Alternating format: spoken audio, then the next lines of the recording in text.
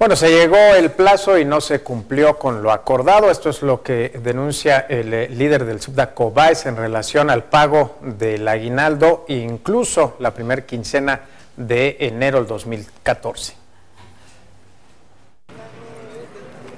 El secretario general del Subdacobaes comentó que el Estado no aporta el 50% que le corresponde para liquidar salarios y demás prestaciones para el sindicato lo que ha provocado un déficit de alrededor de 500 millones de pesos y consecuencias de gravedad como la retención de la primera quincena de enero,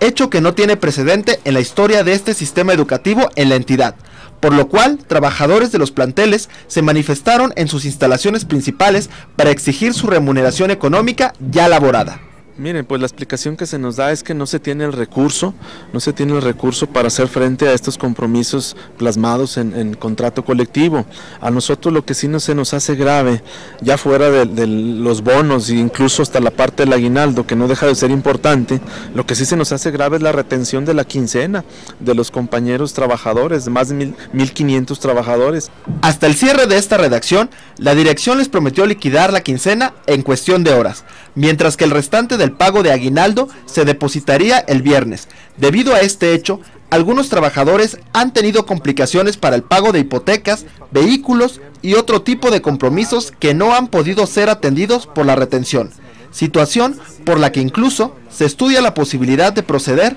penalmente. Aquí lo complicado es que pues hay compromisos que, se tienen que cumplir por la dirección como lo es la segunda parte del aguinaldo y los bonos pendientes. Si bien es cierto, terminamos mal eh, en los compromisos de diciembre, se nos paga hasta el 23 de diciembre y ahora este, se nos retrasa, eh, pues estamos valorando también